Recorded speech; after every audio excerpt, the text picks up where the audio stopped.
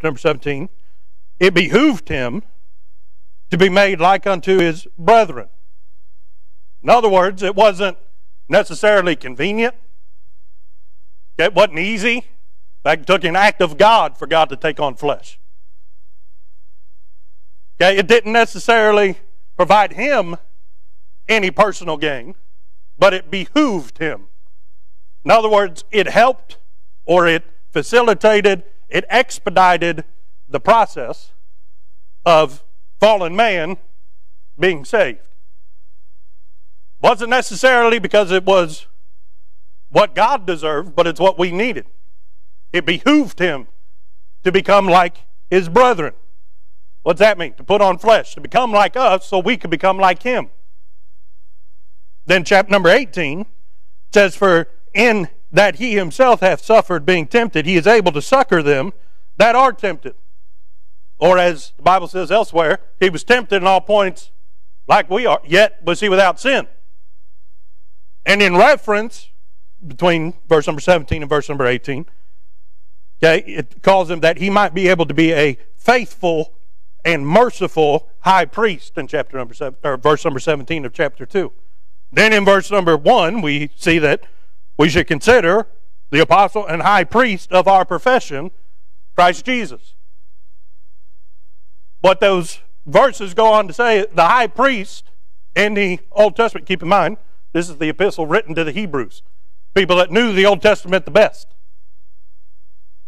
Okay, in the Old Testament, the high priest was the one that was responsible for making the sacrifices for sins that, if done according to as God laid out, would push the sins back of God's people for one year.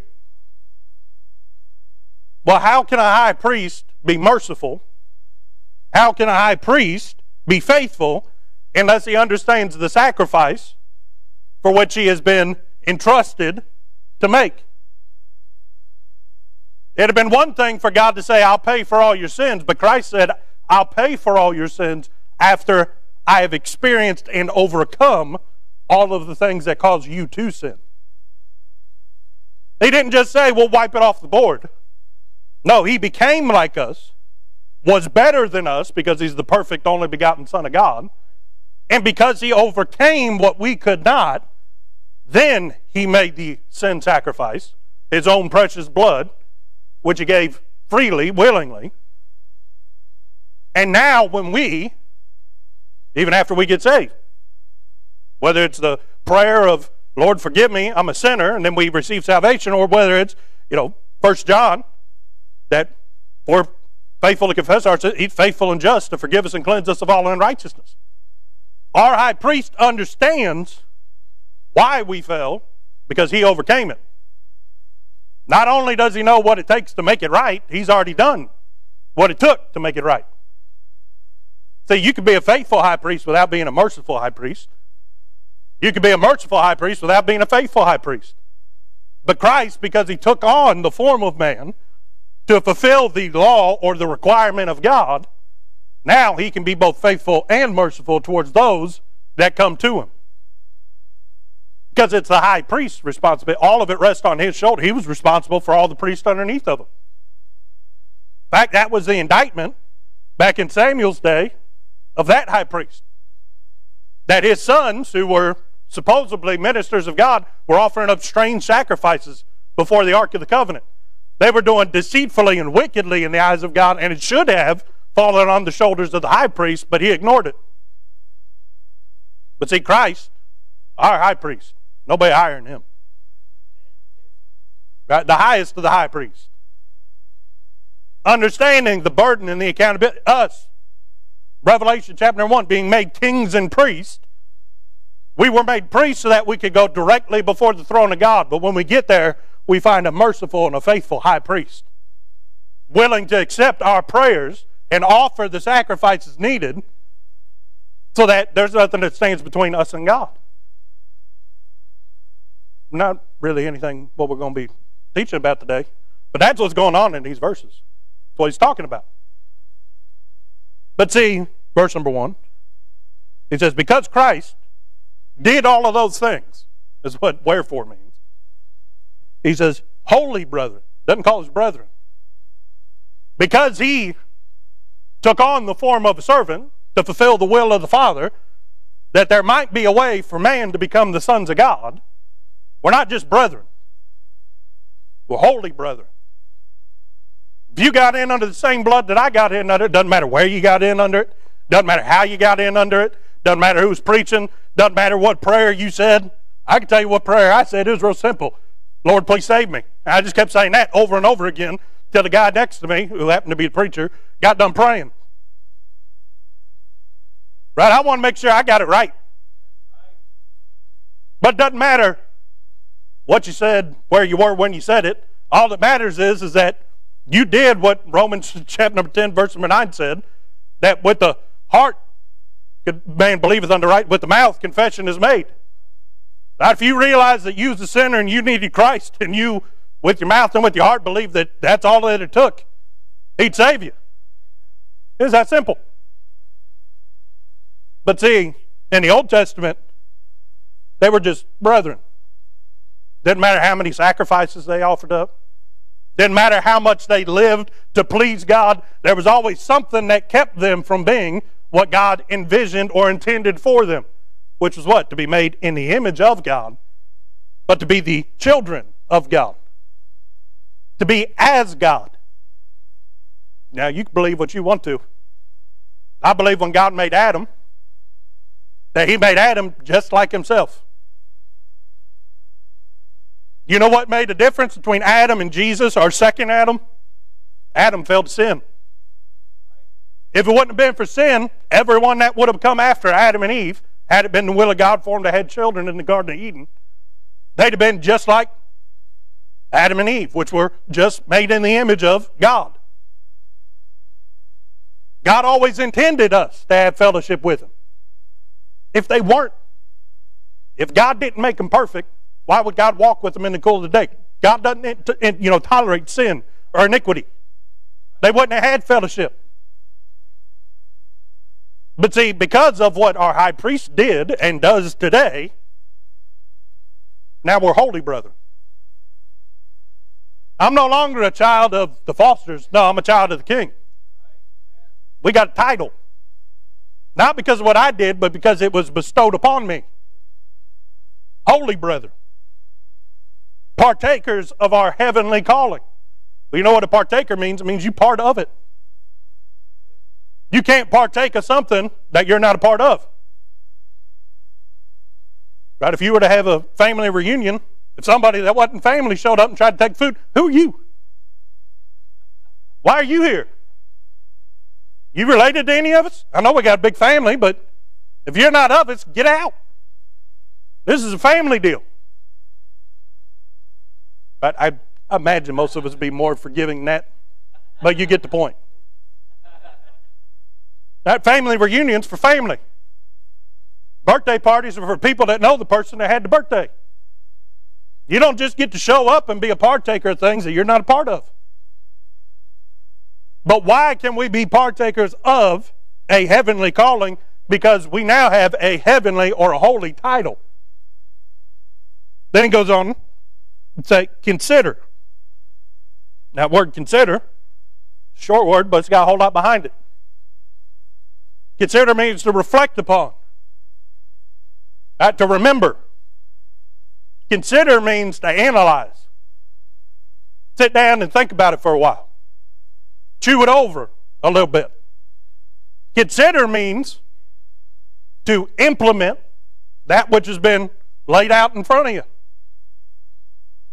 If it was a consider the example of, and then we could go on.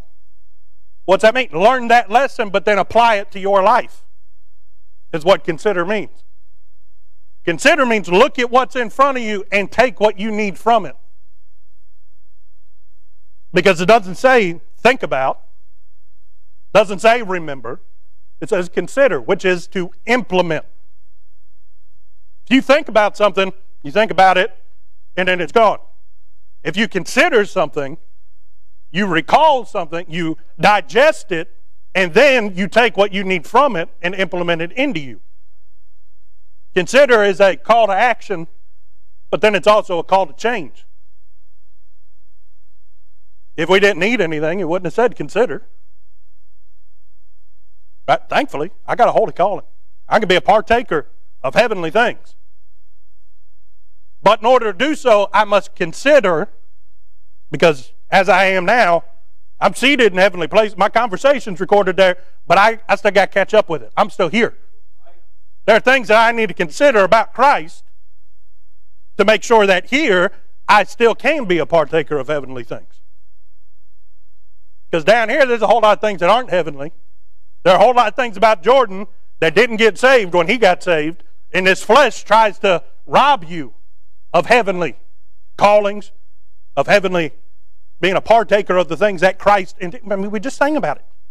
Simply taking from Christ life and rest, joy, peace, all the blessings that are intended for the children of God. The world would want to rob you of those things. So consider our high priest so that we can learn from him what is necessary to continue to be partakers of those heavenly things. I don't get those things because now I'm holy. Oh no. I don't have any righteousness. That's why I'm borrowing his until I get a body like his. He robed me in his because mine's not enough. But I can, considering I can, in that robe of his righteousness, position myself that God will be pleased with me. He's not pleased with me because of where I'm at, but he's pleased with me on what I will be in Christ one day. And through obedience, because consider our high priest. Everything he did was the will of the Father. Every step, every breath, every person that he talked to was because that was the will of God. Consider our high priest. Are we that way? Or do the cares of the world cause us to step outside of that robe of righteousness? And instead of being partakers of heavenly things, now we're partakers of the world. Consider those things. Learn from our apostle, our high priest, our Savior, Christ Jesus. And then apply it. It's one of the greatest you know, passages of the Bible that over in Antioch in the book of Acts, that they didn't call themselves these believers in Christ. Now, Saul was down there after he got saved. He hadn't been Paul yet, but he saw. We know uh, that Barnabas went down to Antioch to, after he'd heard that Saul got saved, he said, We're going to go make sure he's the real deal. Then once they realized he was the real deal, they just had themselves time in Christ. All them believers down in Antioch, they grew in faith and in spirituality. Why? Because they were partakers of heavenly things now. And they didn't call themselves, people in Antioch called them Christians because they were Christ like. The thing that boggles my mind is they never called the disciples Christians, the other 11 apostles in Jerusalem. All the believers in Jerusalem at that church, which, depending on which historical account, tens of thousands of people in that church. That's why they had to meet in the homes. They didn't have a church big enough for everybody to meet in the same place. Daily, they met just to try to get everybody the, the message that God wanted them to hear that week. They met in people's houses breaking bread. But never were those in Jerusalem called Christian. Is those that weren't Hebrew, those that didn't have a claim to God, those that people didn't believe could get saved. They heard that Saul had gotten saved. They said, There's no way that's a trick. That's the guy that's been trying to kill us. He didn't get in. But yet that group was called Christians first. Why? Because if you ask me, they just considered their high priest and said, doesn't matter what we used to be. What matters is who He made us. Then, verse number one continues to go on. Consider the apostle and high priest of our profession, Christ Jesus. Anybody know what a profession is? The reason I ask that, because the first definition that comes to our mind is not the original use of the word. Go to Webster's 1828 dictionary. You don't believe me? Nowadays, people will tell you that a profession is your job. It's not what a profession is. It's one of the things that a profession can be. But the true definition of a profession is an outward declaration. Now, because of what you do for a living, some people may say that your part of your profession is that you claim to be a doctor or that you claim to be a welder, Brother Phil Right? That's part of your outward declaration. This is what I do as part of my life. That's why they nowadays say, well, what's your profession going to be? Because once you decide what you're going to do, you're going to tell everybody about it. It's an outward declaration, something that you want to make known publicly.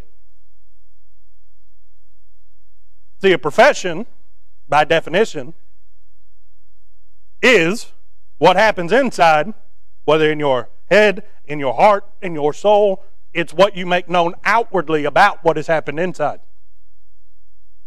Once someone has decided what they're going to do for a living, they make it their profession by saying, I'm going to do this for the rest of my life. Yet what he says, consider the apostle and high priest of our profession. Because see, when you believed on him outwardly, your profession was that I got saved. You didn't get saved because of your profession, but because you got saved, you made a profession. And see, I got a real got a real problem with people say that they're saved, and I got a problem telling other people about it. Because if he changed you on the inside, you're to have a profession outside. It's just going to come out. Right? I mean, you can try and hide a candle underneath of a bushel, but if God wants that light to shine, you're to catch a whole bushel on fire. There's a whole lot of the flesh that'll try to darken it out, but there's something about God that the flesh can't stop. Especially if we consider our high priest, them things that are in the way going to get out of the way real quick. Them things that we used to want to do, now we don't want to do them no more. That's all part of your profession. Okay, a lot of times we will replace the word profession with testimony. Right? Whether it's verbal or whether it's a visual op- observation of your life, your profession or your testimony is what others see when they look at you. And see, sometimes the profession and the testimony don't match up.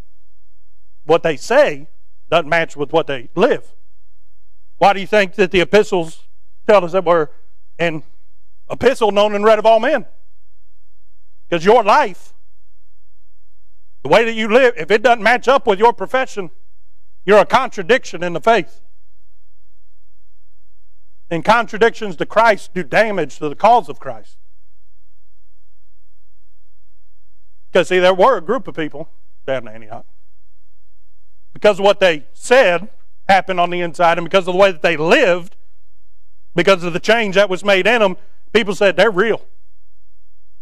They called others Christ like because they saw Christ, they'd heard about Christ, they'd heard the ministry of Christ, whether they had seen him in the flesh or not, they knew about Christ.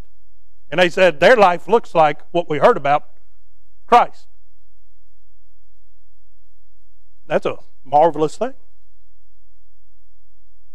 The tragic thing is that that doesn't happen nowadays. The tragic thing is that somebody can call themselves a Christian, believe something that wasn't of Christ, and people still believe that they're Christians. Um, we don't have time to get into all that. But if I get irritated with it, imagine how much God gets irritated with it. That they've blasphemed the very name of His Son by claiming to be something that He never stood for. And then that others be deceived into a lie and buy into it and think that, well, that must be Christ like. But see, reason we went through all that verse number one. says, Wherefore, holy brethren, partakers of the heavenly calling. One of the things that you got in on when you got saved is that you became a part of the calling.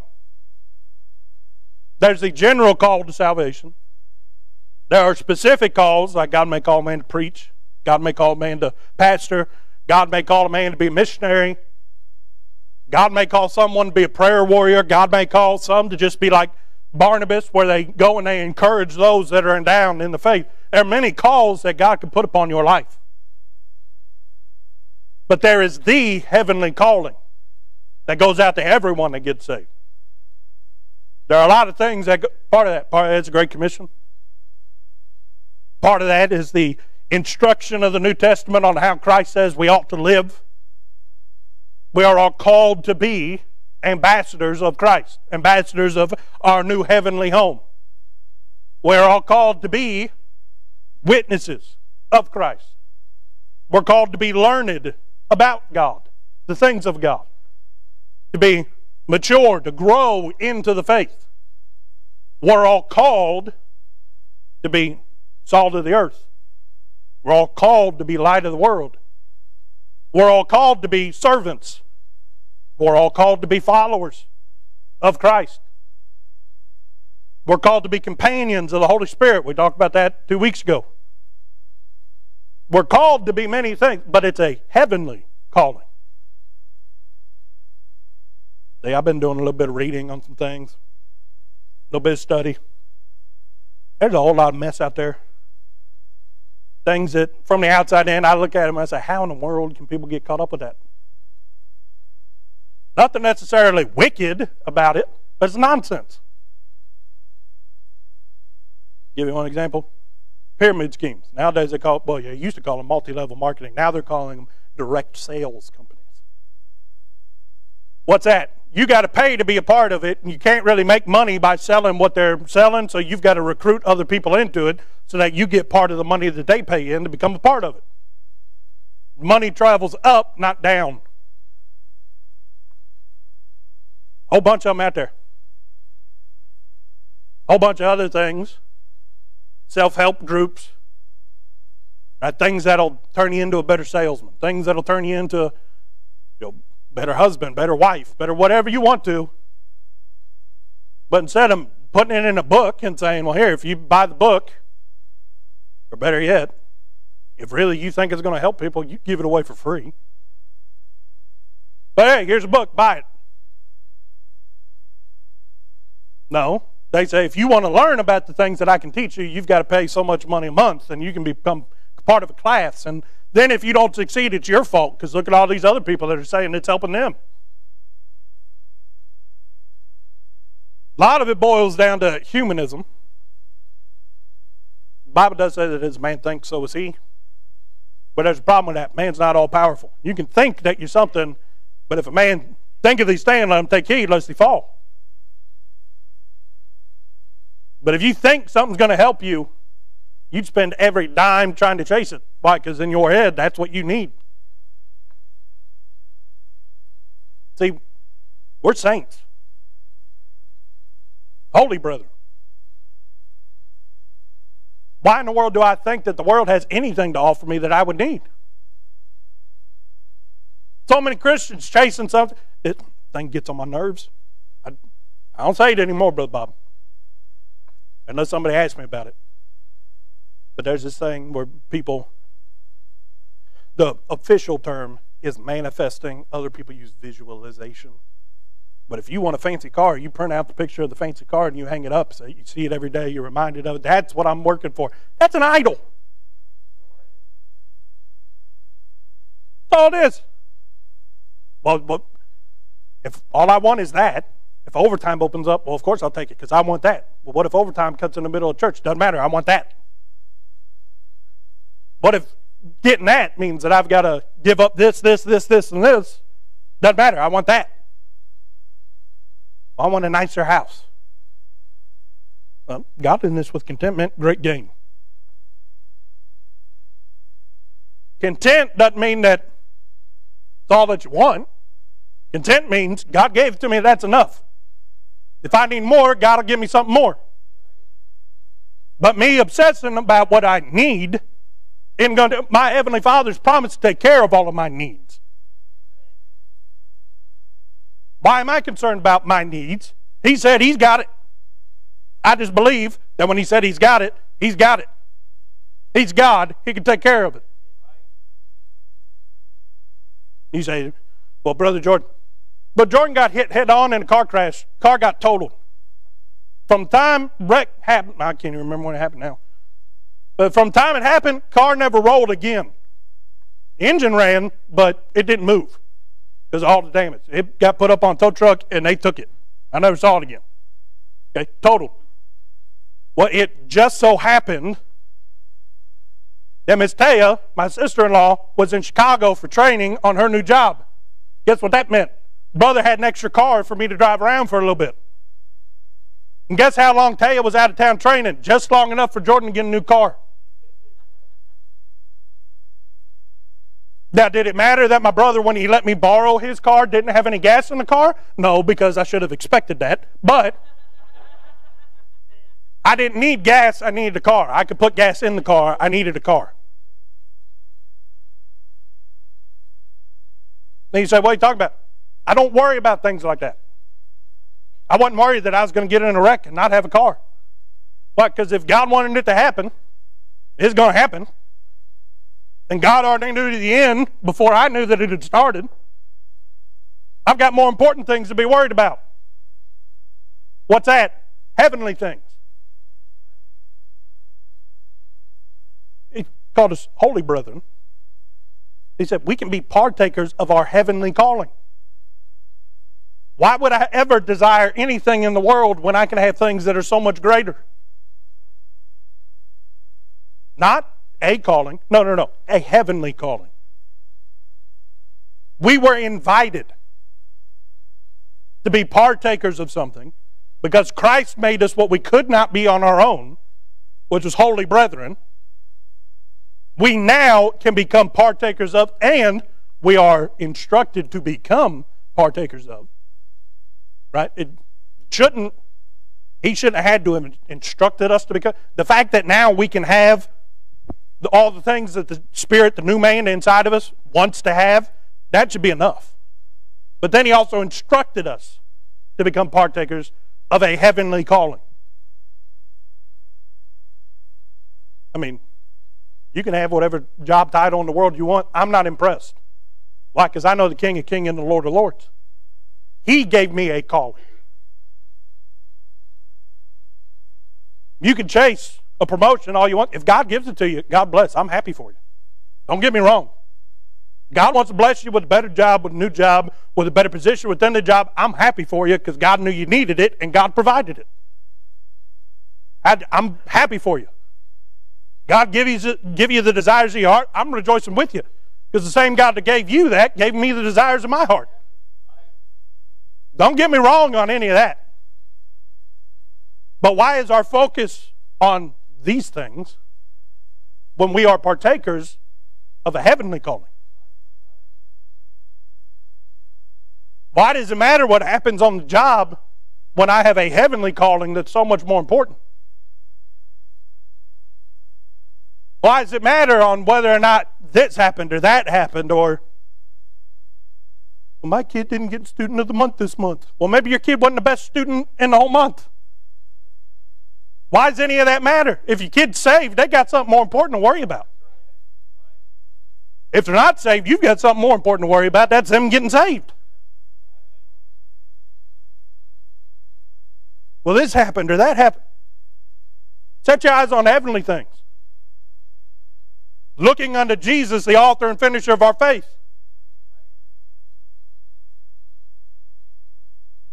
What are these heavenly things that we're called to? Conversation with a thrice holy God, and He wants to hear from me and wants to talk back to me. Why do you care what somebody thinks about you? Why do you care about impressing other people? Why do you want to get in good graces with somebody when you can be in good graces with the very one that authored all of creation? He already knows all about me, but he wants to know how my day went, even though he knows how my day went because he wants me to have enough trust in him to cast all my cares upon him so that he, being a holy God that's all powerful, can take care of those things which are too great for me. Why would I ever want to call up a psychiatrist when I can talk to Jesus? Why would I ever want to talk to a doctor before I talk to Jesus? Not saying I wouldn't talk to a doctor. I had back surgery in February. You know why I had back surgery? Because God gave me peace about having back surgery. You know who I talked to before I ever talked to a doctor? God.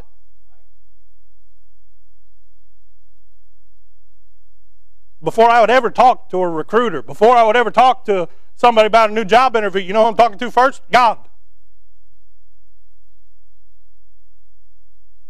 and I've said this many times, there should be no shock to anybody.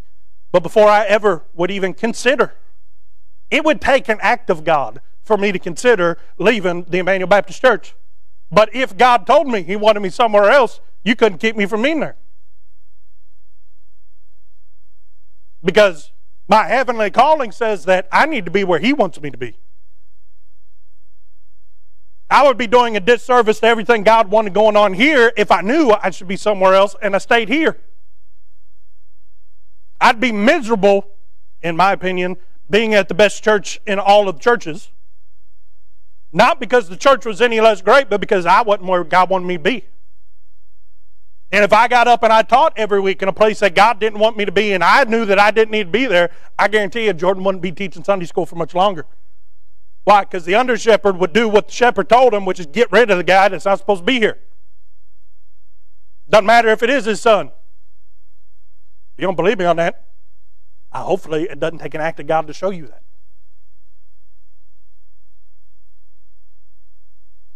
What are you saying? There's so many things that we get caught up with that wouldn't even darken our day, wouldn't even faze us if we had the perspective that we were supposed to have. Do you understand that you are entrusting? And that word entrust means that God knew you were capable of doing it, so He asked you to do it. You cannot entrust something to someone if they're incapable of doing the job. Then that's called squandering. You didn't entrust it to somebody, you just threw it away because you knew that person wasn't able to do whatever they said they were supposed to be able to do. But no, He entrusted you with Himself through the person of the Holy Spirit to take the story of His only begotten Son to those that needed it just as much as you needed it. But how much do you need life dearly? You need it direly. And yet you were the one that he entrusted to do it. You say, Well, I don't believe that. How, why would he entrust me? That's, that's a job for a preacher. No, it's a job for everybody. Part of heavenly calling. Do you understand that the holy God of heaven, after you got saved, looked at you, saw all that he was going to do in your life, and said, They can be a more effective witness than anybody else for these people. They're people that only you can win. I can't win them. If I tried to, I'd be doing, you know, I'd be acting against the will of God. I'd be doing hurt trying to win people. I can only win the people that God entrusts me to win. But see, it's God's will that none should perish. You know what that means? God made a way for all of them, which means God intended for somebody to go to them and if I'm the one that God intended to go win those people, if I don't actively embrace my heavenly calling, those people are going to die and go to hell, and it's not God's fault, it's mine. When I think about that, who cares what sport team won? When I care about that, who cares how bad of a day I had on the job? I've got people that I've been entrusted with to go and win.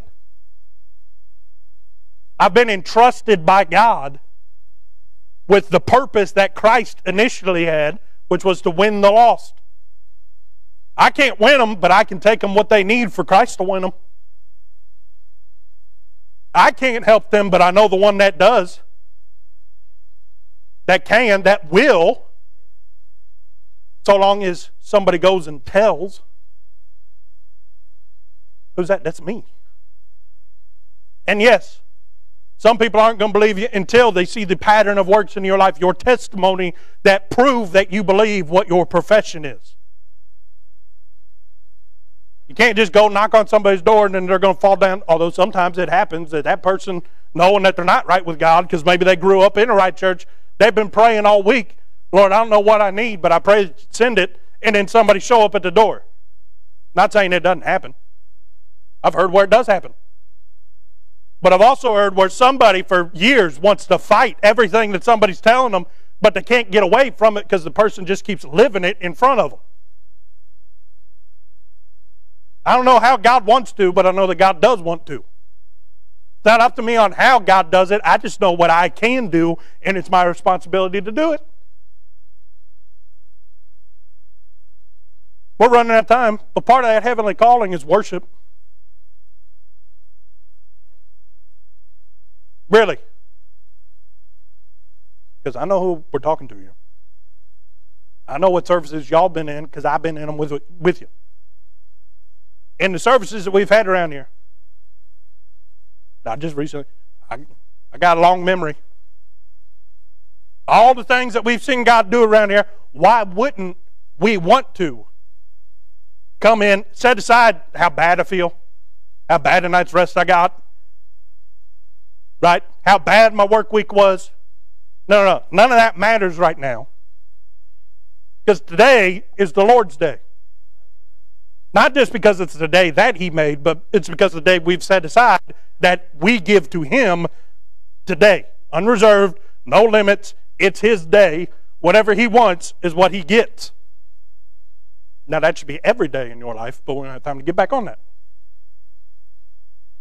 That today is the day that is part of my heavenly call. I get to give back unreserved, my best unto God, expecting nothing just because He deserves it. Too many people are caught up on what happens after God's people start praising Him, which is He inhabits the praise of His people. We're not called to have great service, we're called to praise. The very act of worshiping and praising God should be so enjoyable to us that it doesn't matter if He shows up or not. It's the best thing that's going to happen to me all day to just get up and say how great that the Lord has been.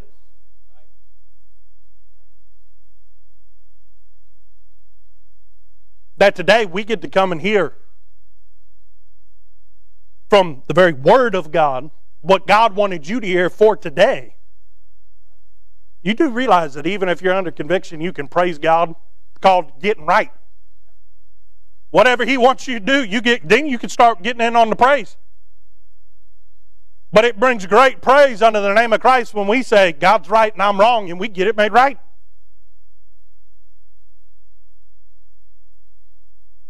The fact that we are called to be worshipers of Christ. Yet we take so little thought of it. We work on improving this aspect of ourselves, or if I could just be a better communicator. I talk all the time, trust me. You don't wish you were a better communicator because it means that they're going to make you talk to people more often and you want to do that. One of the guys that normally answers the phone at work was on vacation this week, and I volunteered to fill in for him. I talked on the phone for six hours on Friday. I don't like doing that. I mean, you can check. I'll, I'll bring you my phone bill. Guess how many minutes a month I talk on my phone? I guarantee it's under 20 in a month. Uh, what are you saying? I was talked out. By the end of it, everybody started sounding the same. Did I talk to you earlier today? Nope, never mind.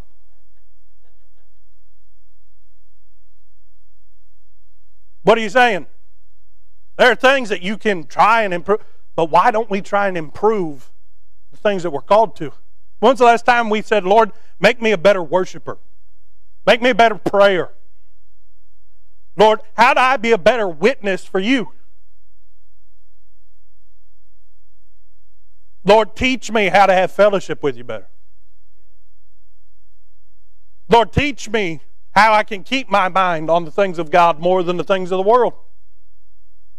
Lord, teach me how to embrace the heavenly calling that you put on my life. Because, Lord, I understand now I'm part of that holy brother. Lord, now I understand that I've been called, not because there's anything special about me, but because I answered the call, He turned me into something special. He'd do for everybody what He did for me if people just let Him. He wants to save everybody. He wants all of us to be great witnesses. He wants us all to be in great communication and fellowship with Him. Why? Because He instructed us to be. And if He instructed us to do it, He called us to it. And if He's able to do it, That means the only thing keeping us from becoming it is us. God wants everybody to be great prayer warriors. What stops us? Because really, when we break it down, us praying, really, nobody's a great prayer warrior. Because really, the Holy Spirit takes our prayer, puts it before the throne of God. Then our high priest, Christ Jesus, seated at the right hand of God, makes intercession for us. What's that mean? He takes, as our high priest, the offering that we brought, the prayer that we brought, and then he prepares it to present it unto God. What's that mean? He takes it and he makes it what God wants it to be, and then he offers it unto God. Because you just didn't bring a goat and throw a goat on the altar. No, there was preparation. There was much that God expected in order for God to accept it. So, really, us being great prayers, communicators with God, is just learning to trim all the things that God doesn't want on there. And then offering it unto God in a way that He's acceptable and because Christ is going to do it anyway. Holy Ghost is going to take those groanings and uttering that we can't even pray. Imagine how much praying you really do when you take into consideration all the times that the Holy Ghost takes those things you don't know how to pray for, those things that you can't even begin to understand that you need in your life, but yet because He's a faithful friend, He does take those unto God, and God the Son prays to God the Father for you to have that. A whole lot more praying goes on in your life than you realize. But imagine if you were just sensitive enough to say, Lord, I know that you're going to take care of all my needs. I pray that, you know, you'd, in my heart, remove the wants and desires that I don't need, replace them with yourself. But Lord, I just want to pray what you want me to pray. And then waiting until God tells you what He wants you to pray and then praying it. Because really, prayer, all that it is, is getting our spirit in tune with the Spirit of God. Imagine if you said, Lord, I'm going to wait. Doesn't matter if it's an hour, Lord, doesn't matter if I have to get up and go to work, come back and get back on my face before you and wait another four or five hours. Doesn't matter if I need to stay up all night. Lord, I'm going to wait until you tell me what I need to pray, and then I'm going to pray it. Imagine what our prayer life would be then. But so many people don't want to do that because they've forsaken the heavenly calling for whatever calling they've put on their life. They think that, well, that's what I need. No, what you need is more Him. Well, Brother Jordan, I'm saved. Hallelujah. Brother Jordan, I go out on visitation. Glory to the name of Jesus. I do this and I do that and I do this. Okay, but what else does God want you to do? Because if you's perfect, He'd take you to heaven. If you's doing enough for God's will to be fulfilled, Christ wouldn't have had to come. I'll be impressed when you do so much that God says, you know what, you no longer need the Holy Ghost in your life. That's when I'll be impressed. Because I know what the Bible says about all that the Holy Ghost does for us, and there's no way you're ever going to do that.